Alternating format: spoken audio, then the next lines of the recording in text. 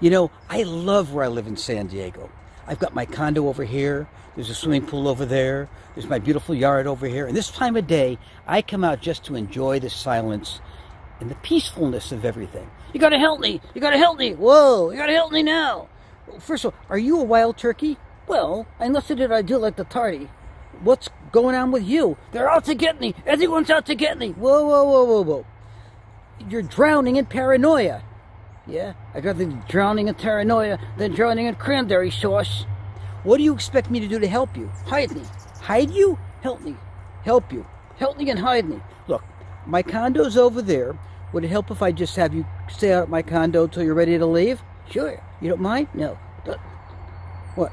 These guys are drooling. Get me out of here now. Okay, just, we'll go. Get me out. Of that Okay, get me out now. Just wait.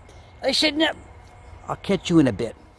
Well, here we are. You feel safe? Oh, yes. Now, where am I going to stay? I got the perfect place for you. I'll put you in the kitchen. Wow! you thought that was funny? I did. You know what? What? It wasn't funny to me. Okay, enough. You're in California. Take a deep breath. What's that? In California, that is a deep breath. Change the subject. I'm hot.